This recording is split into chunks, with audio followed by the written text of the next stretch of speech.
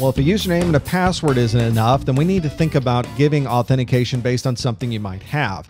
This is called two factor authentication because you have to go through a couple of steps. You have to first know your username and password, and then you go to the second factor of authentication, which might be something like a biometric scan. You might have a fingerprint reader, you might have a retinal scan reader, or it might scan your hand to be able to tell if it's really you that needs access to this.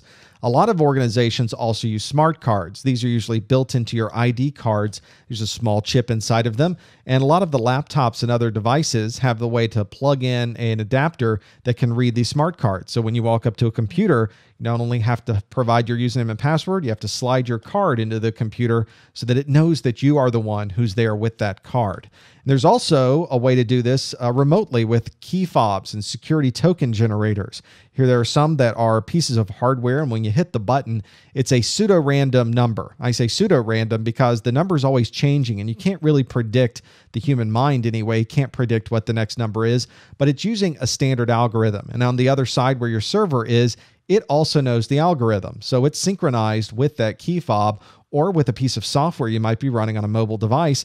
And that number is constantly changing every 15 seconds, every 30 seconds, every 60 seconds. And when you put in your username and password, you hit the button on your token generator, it'll give you a set of numbers. You type those numbers in, and that then gives you access in. That's your second form of authentication of your two factors.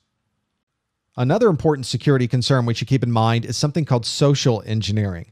Social engineering takes into account the human concept, the human idea of taking a person and getting around all of your firewalls, getting around all of your encryption, getting around all of your technology simply by talking to a person or accessing something a person might be doing or tricking a person into clicking on something on their screen they shouldn't be clicking on.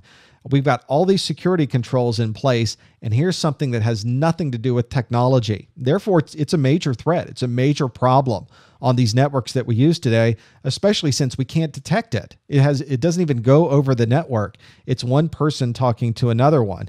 And it's become a, a major information source. This is a very, very common way when when very large organizations test their security, they very often will contract with a third party to also do some social engineering and see if they can get into the corporate network that way. Social engineering takes a lot of different forms, and it can happen at work, it can happen at home. There are certain things that you should keep in mind for social engineering. If somebody's calling you and saying, Hi, this is Bob from the help desk, uh, we have a ticket open for some people that are on your floor and we're concerned about the network connection. Let's give your idea, your ID and password a shot. What's your username again? And what's your password? And what's your phone number? And where do you work? Well, somewhere in there, they just asked for your username and password. They now have access into your network. So you can't necessarily believe everybody who's calling you on the phone. You also don't want to watch for people that might be wandering around your place of work and they don't have a visitor badge on. They're not being uh, have anybody with them escorting them. You should have processes in place where people have to sign in. There must be badges on the door. You have to make sure people aren't getting around some of those those ways that people get in. In the spy movies, they always dress up as the repairman and they're walking in. That's actually a very good way to get in the door and start taking care of things from a security perspective without anyone knowing that you're there. Another good way to do it is door surfing. Oh, if you want to get into anybody's corporate environment and you don't have a badge, grab some donuts, grab a couple boxes of donuts, and start walking in. You have food and it smells good. Oh, my hands are full. Could you get the door for me? People are more than happy to let the guy with the donuts in. So you want to be careful that the person with the donuts, check him for his badge, make sure you know who he is. You don't want strangers coming in, and that's a very easy way to do it.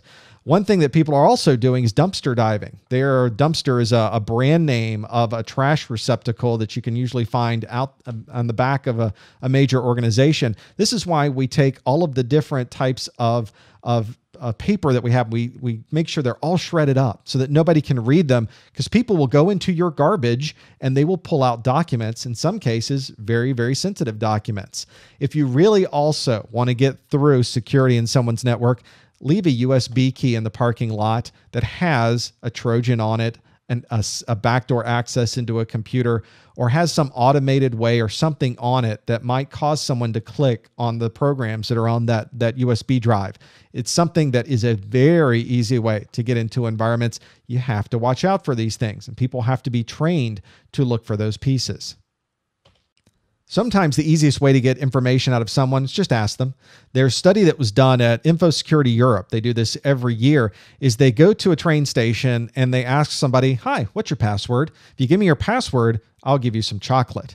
People go, "Wow, really? Here's my password. here's here's when I was born. Here's my boss's password. There's chocolate involved, they're in. No problem there." They in this last study that I was looking at, there were 576 people they asked. 61% of them gladly gave their date of birth for some chocolate. 21% of them handed off their password and said, "Oh, I know what my associate's password is too. Can I get a chocolate for their password as well?" And some of them even said, "I have access to the CEO's password if you can give me another piece of chocolate." So you want to also be careful. Social engineering takes on some very, very simple terms at times, whether it's chocolate, whether it's donuts. I'm seeing a trend here, aren't you? The way to get these passwords is really with sweets, it seems. You want to watch out for these things. You want to be sure the people in your environment are well trained to handle these kinds of situations. There's almost always a corporate process in place when you get an odd phone call. Somebody's around, they're standing around, they don't have a visitor badge. You should ask them, Do you have a visitor badge? Who are you? Why are you here? What are you doing in my environment? This is something that everybody should feel obligated to do. You should be enabled in your environment to do these things. If you find a USB key lying around in the parking lot, if something looks unusual, it is unusual. It's not normal and you should take very careful precautions because once somebody is in your corporate network, all of those secrets go out the door. At the end of the day, all your organization has is that data. And as soon as someone else gets their hand on that data, it can be big problems for everybody in the organization. Let's see what we can remember about our security fundamentals. Our first question is What kind of authentication uses something you own, such as a smart card? Well, that would be our two factor authentication where we've had to put in our username, our password, and that second piece of information. What kind of issue might be related to an unattended visitor in a secure area? You find somebody walking around, he looks like he's the repair guy, and he's asking people where to find certain things. There could be some social engineering going on. And the last question is what's the best way to remove data from a hard drive? Well, there's a couple of best ways, but if you secure delete it or you destroy that drive, nobody's getting anything back off of that hard drive. Well, that covers everything we need to know for our CompTIA A Plus 22701 Section 5.1. We've gone through encryption and hard drive security and software firewalls and much more. If you'd like to see any of our A Plus videos, you'd like to participate in our message boards or send me a message, you can visit our website at freeaplus.com.